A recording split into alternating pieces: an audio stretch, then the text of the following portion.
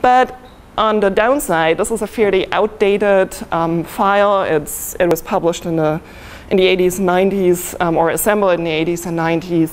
And there hasn't really been a straightforward and easy way of updating it. Certainly, we do not have one editor being in charge of adding new institutions to this list. So what we're doing is we essentially uploaded the Arnett list into the, um, um, into the database as an authority file. But then we give the ability to individual databasers to actually add institutions as we, as we need to do for, for our research projects. And obviously, this um, um, can result in really unpleasant things. This was just a test case up here, so this doesn't mean anything. But you could enter something like 1111 unknown unknown, which obviously is not very meaningful. But um, this is actually a field we use of a given specimen. It's not clear where it comes from, for example. So it, it, ha it happened. Okay, so this was all the, the actual data entry mode. Then we obviously always assume that you're entering um, specimen data into a database and you're going to be messing up.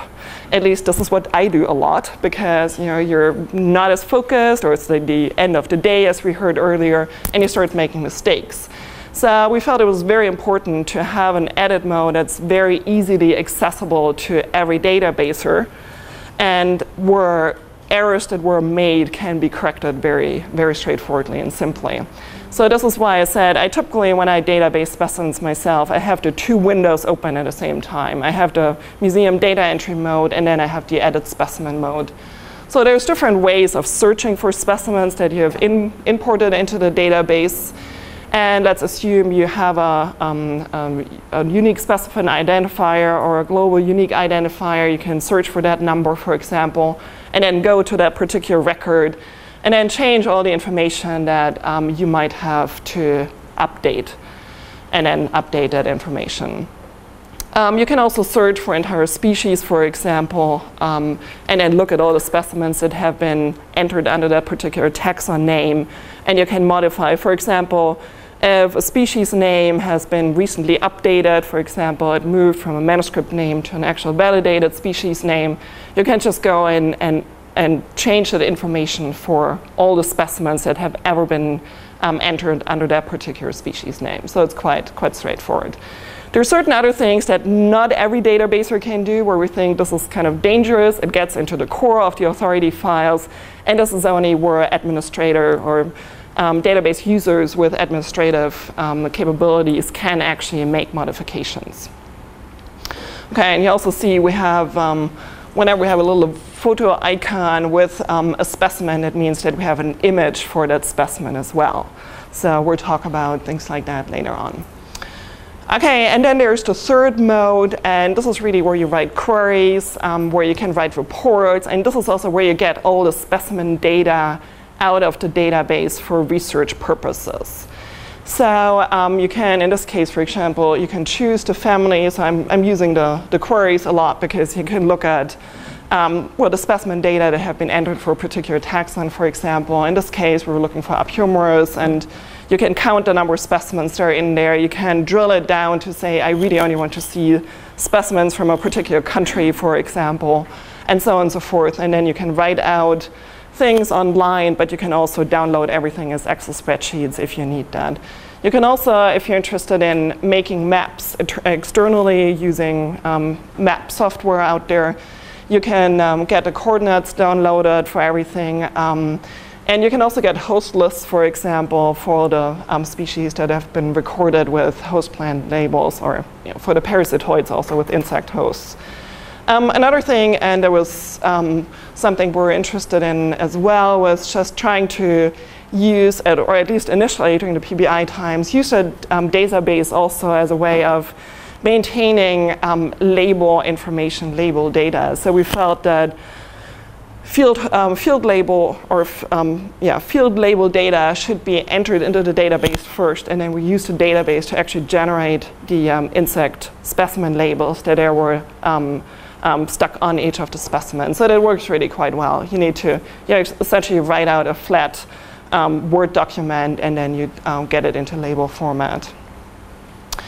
Okay, so obviously there's a lot of, lot of things to, um, to um, keep in mind when you're sort of databasing. So there's by now a fairly long and extensive document that gives you um, very clear instructions on how to use the database in addition to the little help buttons that we have in the different sections in the database that have some of the abbreviated um, instructions on there. Okay, one thing um, that um, I briefly want to mention that will also be important for um, one of the lectures I'm giving tomorrow is um, we felt it was very important to physically associate each specimen we're looking at with a unique, some kind of a unique code that we could make sure we can always track, keep track of that specimen. This is something that's important in our taxonomic work. If you have long lists of material examined, in many cases, there will be many specimens coming from the same locality in the same collection event. But then in many cases, we're not going to be doing genital sections, for example, for, let's say, all the 10 males that were collected at one particular site at a uh, particular collection event date. So we want to make sure that we can point to directly one specimen and say, this is really the information that comes from that specimen. So because it became very important for the taxonomic work we're doing to be able to point to individuals. But then also, and this is something that comes up more and more out there in the ecological, behavioral, or even molecular world, that journals will ask you for not only voucher specimens and depositories, but they also ask you for uniquely identify each of these specimens so that anyone could go back at a later point, go to the collection where these specimens are and say, okay, you're the specimen where one of the hind legs was extracted for DNA studies. But the problem is when you um, identified that species, you actually didn't really know enough about that particular genus and you gave it a wrong species name, for example. So let's say five years later, someone else looks at this particular genus again, and we'll be able to actually go back to that specimen and say, no, I know now this is actually a different species. So the whole molecular phylogeny might in the end actually make sense. So this is very important. Um, so this is part of our normal workflows that we would attach these um, specimen identifiers to each specimen. So we're using these matrix, matrix codes. So you have um, an um, essentially a, a, prefix that would point to a project that's capturing the data, and then there's a number behind it, and that unique code is encoded also in this matrix.